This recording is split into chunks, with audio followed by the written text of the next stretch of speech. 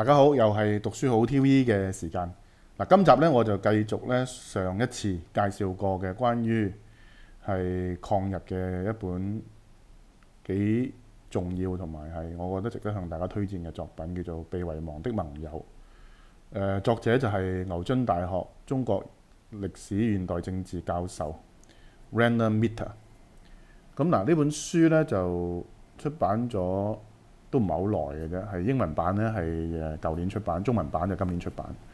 咁就係喺英文嘅出版嘅書評裏邊咧，係得到相當好嘅評價。咁咧就適逢咧就而家內地咧都製起咧以呢個紀念抗日、抗戰勝利嚟作為呢個愛國主義、民族主義嘅一個工具啦。咁所以我哋更加要認識到咧，其實抗日究竟係一回咩事咧？咁上一集我都講到，長久以嚟呢，我哋中國人對抗日嘅記憶呢已經開始遺忘，唔係話因為時代嘅久遠，而係因為政治嘅原因。誒、呃，喺一九四九年之後，因為領導抗日嘅係敗退係台灣嘅蔣介石，而奪取政權嘅毛澤東當然係唔會肯定蔣介石領導抗日嘅功勞啦。而蔣介石去咗台灣之後，為咗繼續突顯自己作為中國領導嘅權威，隨時可以有能力反攻大陸。當然就突出喺抗日裏邊國民黨嘅種種英勇。咁從來中國人都好難用一個公正同埋有一個相對比較遠嘅距離去評價返究竟抗日裏邊嘅種種當時蔣介石好、汪精衛好或者毛澤東好嘅佢哋嘅面臨嘅選擇有啲乜嘢？而呢種選擇係唔係必然嘅呢？而個結果係咪一定係會係咁樣嘅呢？咁咁誒？Rainer Mitter 呢本書呢，其實佢講出一樣嘢係咩呢？中國抗戰百年抗戰嘅勝利並不是必然嘅，而係一系列選擇嘅結果嚟嘅。咁佢同我哋過往睇中文關於抗戰嘅歷史書呢，有最大嘅分別係乜嘢呢？就係佢將當時中國嘅抗戰同國際整個形勢同埋日本內部政治呢係扣緊起上嚟，從而令到我哋有一個比較全面嘅認識。嗱，譬如好簡單裏邊提到嘅七七盧溝橋事變。咁究竟當時喺呢個華北地區喺呢個宛平縣，即係盧溝橋裏邊演習失蹤嘅士兵，誒係咪必然會引發中日嘅全面戰爭呢？咁樣咁嗱，我哋從來都好少咁樣去諗呢個問題。原來喺華北當時根本上就唔係由國民黨直接控制嘅，而係地區軍閥。咁而呢啲地區軍閥呢，亦都唔係直接效忠於蔣介石嘅。咁當時就住喺宛平縣嘅軍隊，包括北京嘅呢，就係呢個宋哲元。咁而宋哲元嘅部隊呢，誒、當然蔣介石係冇權命令佢哋調動，但係點解一個華北咁樣嘅宛平縣嘅一個失蹤日軍會最終導致正式全面開火呢？咁作者就用一個抽絲剝繭，好似一個偵探嘅角度去睇，即係話做好多假設啦。誒係咪可以避免嘅呢？盧溝橋事變可唔可以演變成為一個局部嘅地區衝突？好似以往其實喺東北華北地區不斷發生嘅中日衝突呢？咁。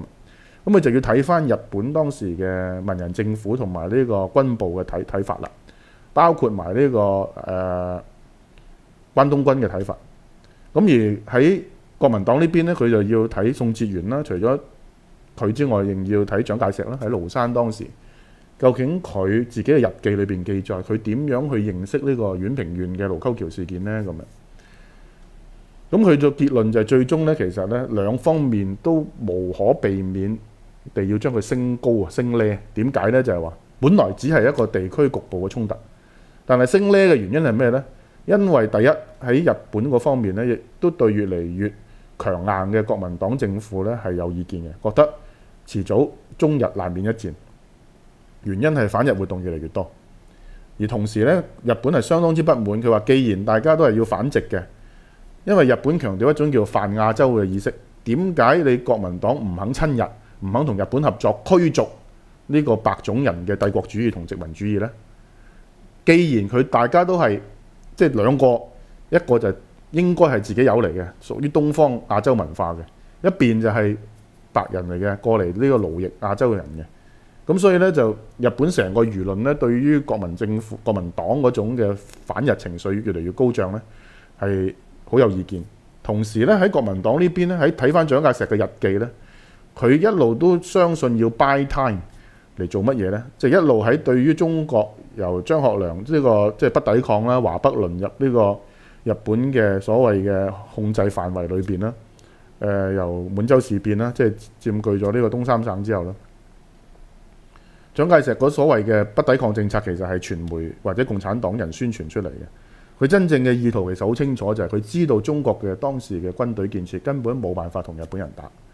所以咧，佢咧就邀請咗德國喺當時德國陸軍兩位相當之重量級嘅人物，就係、呢個法肯豪森過嚟，同國民黨建立一支強大嘅直屬於蔣介石嘅中央軍。咁而呢支中央軍係全德式裝備，同埋咧係大約訓練咗嘅係有實戰能力嘅三萬人度，連埋軍官。但係佢好希望呢個中央軍團一路擴大而去取代，因為你知道當時嘅中國裏邊咧係一個分崩析離嘅局面。南京政府係冇辦法控制華北嘅軍隊嘅調動嘅，包括埋山西嘅閻錫山，唔好講延安嘅毛澤東，其實全部都唔受蔣介石指揮。咁你諗下喺佢嘅角度嚟講，佢當然係盡量避免同日本展開呢個全面嘅衝突，但係去到嗰一下呢，佢覺得已經冇辦法。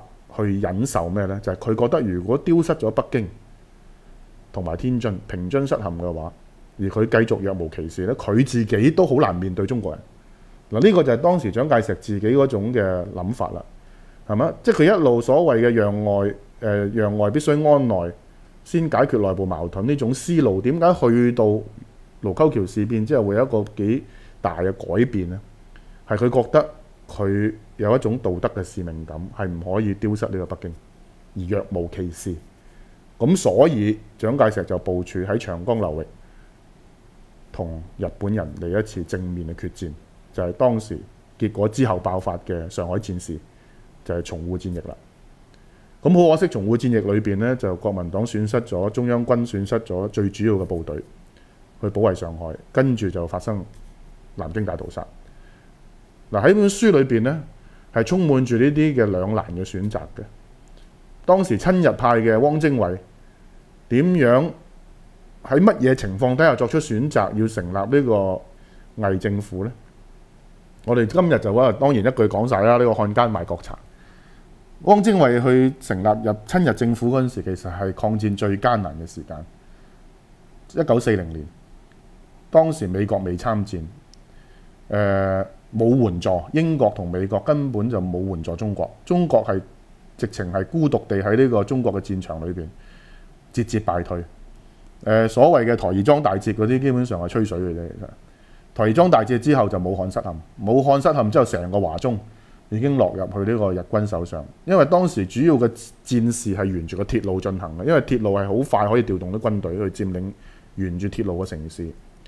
咁而更加慘絕人寰嘅咧，就係當時蔣介石決定為咗保衛武漢，誒、炸開咗呢個河南嘅黃河花園口嘅大堤，然後咧就等呢個決堤嘅河水咧淹沒咗成個呢個河南嘅地區。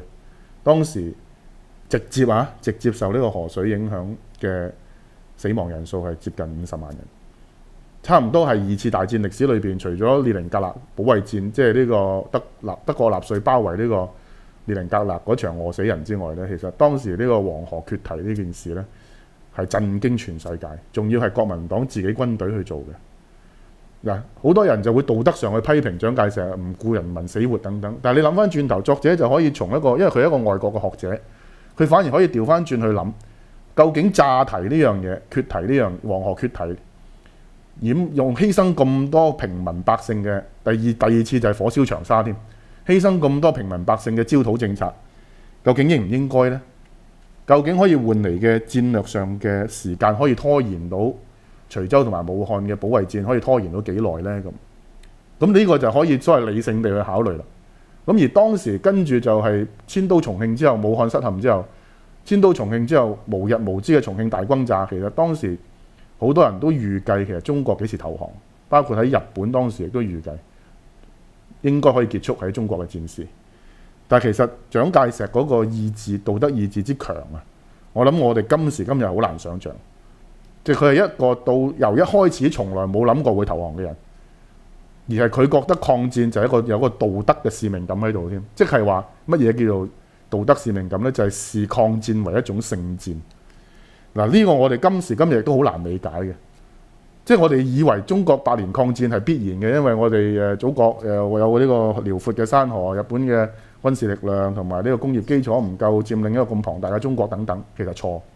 事實上，中國已經接近投降嘅邊緣當時，所以汪精衛就私下用飛機飛咗去越南嘅河內，發表呢個所謂名噪一時嘅艷電，發表呢個電報，表示願意同日本進行呢個和談磋商。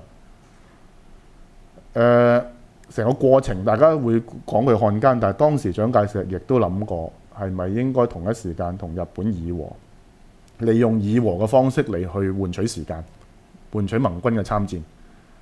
咁直至到成個政局戰局嘅轉變係去到呢個珍珠港事變之後，美國援助開始嚟，亦都唔係咁順利嘅。其實美國援助當初其實係有好多嘅限制喺度，亦都佢哋對啊蔣介石嘅印象都唔好。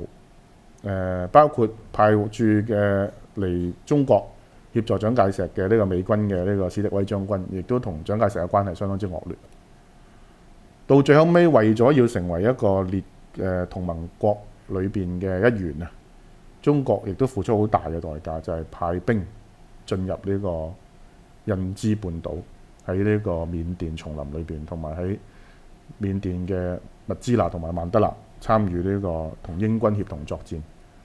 誒，死咗相當多，死傷相當多人。其實每一個抗戰裏邊嘅都係一個艱難嘅選擇嚟嘅，即係我自己會睇翻成本書嘅過程裏邊咧。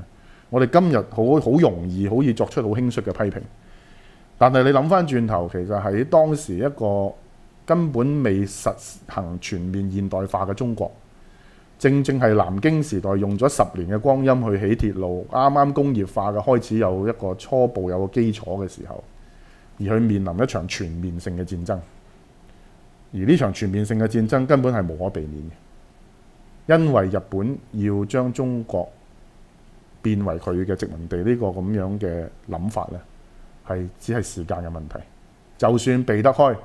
盧溝橋事變，當時蔣介石嘅判斷都一樣。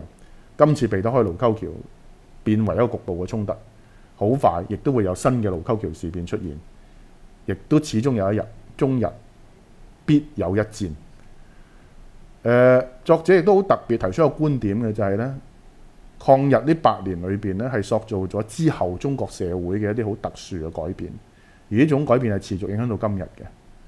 我哋紀念抗戰嗰陣時，其實好好少可會從今日嘅角度去睇翻轉頭，究竟成個抗日戰事裏邊對中國嘅社會影響有幾大？包括咩呢？第一個政治社會動員起上嚟。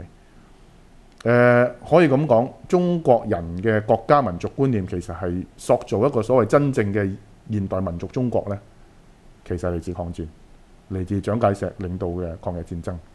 因為成大半個中國嘅人咧開始流動，開始由華北流向華中，華中走向呢個大西南，有啲走向華南，全個中國咁走嚟走去，開始先至離開自己嗰條鄉下，離開自己自己嘅城市，知道實際上中國係一個幾大嘅國家。嗰個環境係點樣？第二樣就係嗰種民族主義嘅號召同埋動員，令到社會咧習慣咗一種政治氣氛同埋政治動員出嚟，一路影響到四九年之後。第三樣咩呢？個暴力，因為佢哋喺一個戰爭裏邊成長，亦都喺戰爭裏邊目睹好多慘絕人寰嘅暴力，成個社會對暴力嘅接受程度越嚟越高，可以咁講係受到一種嘅所謂戰爭暴力文化嘅影響。咁究竟四九年之後嘅中國，或者係到今時今日，有幾多嘅社會嘅發展同埋一啲嘅沉澱落嚟嘅影響係同抗日戰爭有關呢？咁呢個就